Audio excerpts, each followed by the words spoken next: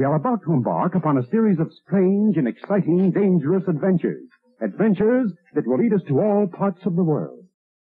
Hello and welcome to another Bad Comic Review. This time we're looking at Vanish, Issue 1. This is a 2022 series from Image Comics, written by Donny Cates and pencils by Ryan Stegman, inks by J.P. Mayer, colors by Sonia Oback, edited by John J. Hill. Cover by Ryan Stegman, J.P. Mayer, and Jason Keith. I really like the cover, it got me to buy the book. This is obviously a mature reader's book because there's a lot of blood on the cover and in the book, but it was a really catchy cover and I thought, I need to check this out. So we start off with this guy who's drinking drinking as he's walking home. He's talking about how he's self-medicating. We don't really understand why at first, and then he's attacked by some thugs. And just then, some kid shows up in a costume to help him out. Now, our victim here is Oliver Harrison. We don't know much about him, and the kid that saves him's name is Battle Rocket, but something's not quite right here. And Oliver has a secret of his own. See, he's got a brand on his right shoulder, and that tells him that there's something really weird going on. And that's when the book takes an insane insane twist. Turns out Oliver was the chosen one of a wizard school. And there was this evil wizard named Baron Vanish and his followers, the Hollow, who were there to destroy the school and kill the headmaster, who apparently may have been a bit of a creeper. Some of the staff are a little bit sketchy too, apparently. And the chosen one, Oliver here, decided to break the rules of the school to stop Baron Vanish. Now, he appears to have done that in a very spectacular fashion and quite hilarious, actually. But his time as the chosen one appeared to have been short lived because he was 14 when that happened, and this is at least a decade later. And now the followers of Baron Vanish have come out of the woodwork posing as something they're not. And that means that Oliver also has to take up a role in a mantle, so he busts out his old wizard robes, and things look like they're gonna get pretty crazy. I have to admit, this was an interesting book. First of all, the paper quality is really nice, and I was really impressed with that. It's real nice cardstock cover, and at only $3.99, I was really shocked by that. The art art is some of Stegman's best, mainly because I'm not familiar with these characters, they're new, so there's no expectations of how they're meant to be drawn, and I think that works really, really well. The colorist did a great job too, so the creative team all around, from the pencils to the inks to the writing, was all really well done, but this is a dark, mature title, and there's a lot of blood and killing in here. As far as the story goes, it's obviously a Harry Potter meets Green Hornet kind of storyline, but it does work for what it is. There's a lot of similarities to Harry Potter in the narrative, but it's kind of done in a tongue-in-cheek way that I didn't really have a problem with. I thought it was well done for what it is, and the creative way that the kid dispatches Vanish was really funny. Now, how this plays out is going to be interesting. They're on issue 3 as of this recording in November 2022, and I'm hoping that it continues to be at least this good, but we'll see. I've got all three issues that are out now, and I'm going to try and get those up as soon as possible, but I was really impressed with this. It's definitely definitely some of Donny Cates' better work, and Ryan Stegman did a really, really good job. I didn't have a problem with the art. So all around, a solid work by everyone on the team, like I said, and a really good cover, and the price point's right. So I'm going to recommend this. I think it was absolutely a fun ride, and I'm looking forward to reading issue two. That'll do it for this one. Thank you so much for listening and supporting the channel. If you enjoyed the video, please hit the like button, and don't forget to subscribe so you don't miss future reviews. If you'd like to help the channel out in other ways, links are in the description to various support methods, and as always, we hope to see you on the next one.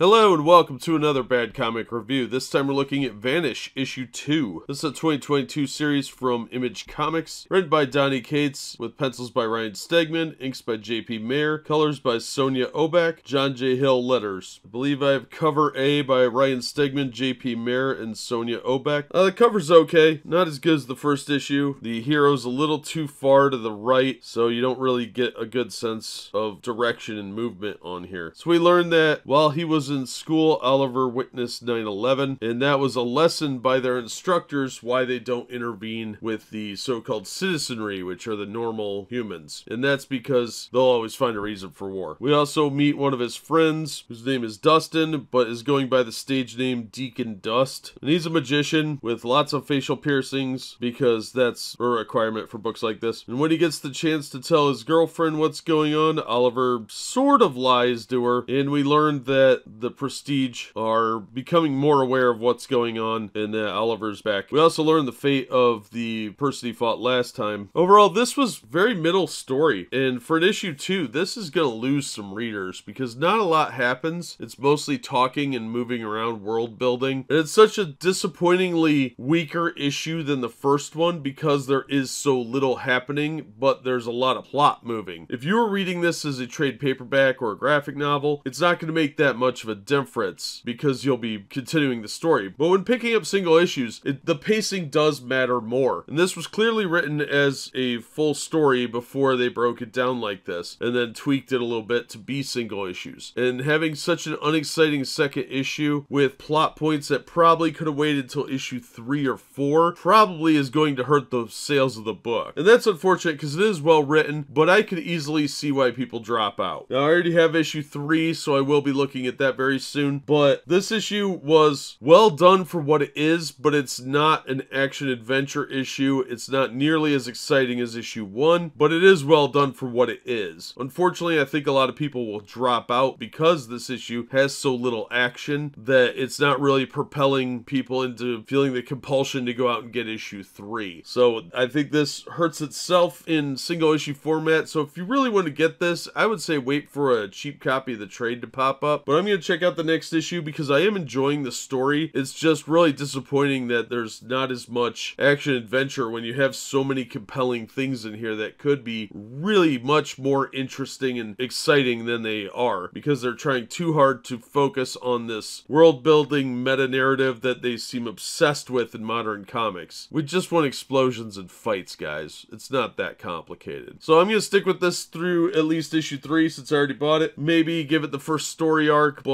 I can see why people would drop out. I would say wait for the trade and pick it up that way. You'll probably save a few bucks and you could probably get it cheaper than even the cover price of the trade through like Amazon or half price trades. In the meantime, that's going to do it for this one. Thank you so much for listening and supporting the channel. If you enjoyed the video, please hit the like button and don't forget to subscribe so you don't miss future reviews. If you'd like to help the channel out in other ways, links are in the description to various support methods. And as always, we hope to see you on the next one. Hello and welcome to another Bad Comic Review. This time we're looking at Vanish, issue 3. This is a 2022 series from Image Comics. Written by Donny Cates, story and pencils by Ryan Stegman, inks by J.P. Mayer, Sonia Oback did the colors, letters by John J. Hill. I have cover A by Ryan Stegman, J.P. Mayer, and Sonia Oback. Cover's not bad, it does imply that there's some action in here, and there is. Oliver has tracked down one of the Prestige, and he, he knows who she really is, and he's going after her, but she's very fast and she has a twin brother who is not particularly good either. Now, they keep telling Oliver that things have changed, he doesn't know what's going on, and they seem to think that Oliver is concerned that Vanish is back or coming back, but they don't seem to believe that. And Oliver takes a serious risk to bring them down and absorb their magic, but there's a lot more going on because, of course, the civilians are getting involved as well. So the cops show up, and that is when his wife finds out what's going on and calls Deacon to try and get some more information. But things aren't over just yet for Oliver. He uh, runs into somebody called the Battery, and Deacon is having his own problems. We're left with a cliffhanger ending, and overall, the story is pretty solid. Lots of action in this one. It's a bit bloody. It's definitely a mature reader's title. A little bit of gore, but the story is pretty interesting. Unfortunately, it is 20 pages, so even though the paper quality is really, really nice, unfortunately, a lot of the extra pages that would normally be comic book are ads, so you only get 20 pages of actual comic, and I don't think that's worth $4. So even though I am enjoying the story, the Marvel way of doing pamphlets is now becoming standardized throughout the industry, and I don't care for that very much. I would say that instead of spending 4 bucks a piece, wait and get it in back issues cheap if you can, or buy the trade. As of this recording in 2022, Volume 1 is supposed to come out at 15 bucks, and I think that's probably going to be a cheaper way to go because you'll be able to find it for a discounted price at somewhere down the line. So I would say that's the route to go with this. It is an interesting book and it is picking back up. Issue 2 was a little slow, but this one definitely had a lot more action to it. And I'm willing to see where the book goes, but I'm not really willing to commit 4 bucks on a regular basis to a pamphlet. So I would say if you can find it cheaper, pick it up that way. Otherwise, just wait for the trade and pick that up at a discount somewhere. That'll do it for this one. Thank you so much for listening and supporting the channel. If you enjoyed the video, please hit the like button. And don't forget to subscribe so you don't miss future reviews. If you'd like to help the channel out in other ways, links are in the description to various support methods. And as always, we hope to see you on the next one.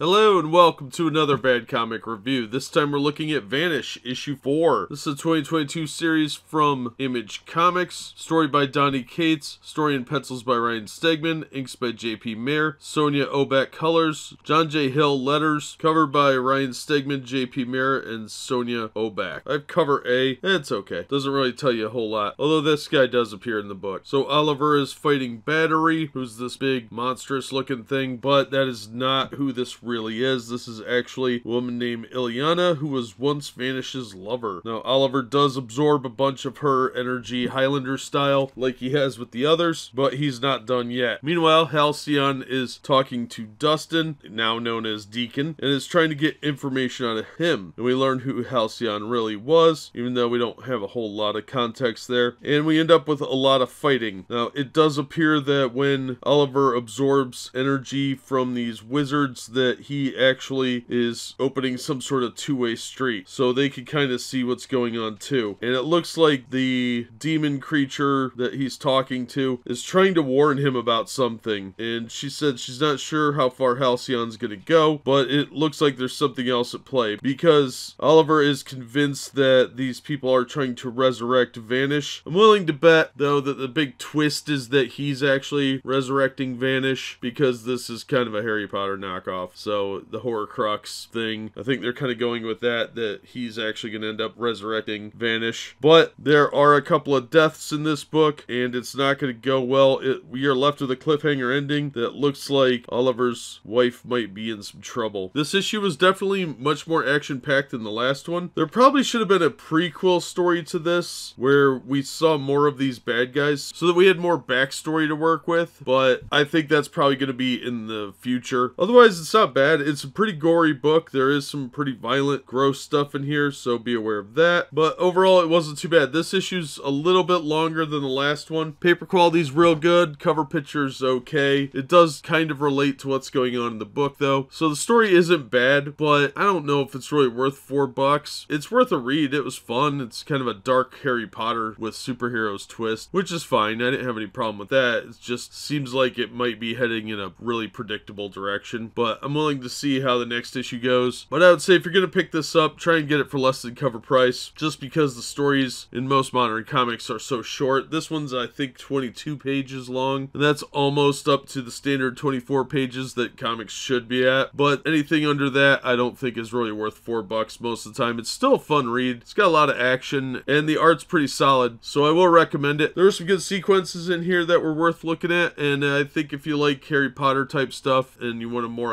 adult version of that, this is what you would probably look for. That'll do it for this one. Thank you so much for listening and supporting the channel. If you enjoyed the video, please hit the like button and don't forget to subscribe so you don't miss future reviews. If you'd like to help the channel out in other ways, links are in the description to various support methods. And as always, we hope to see you on the next one.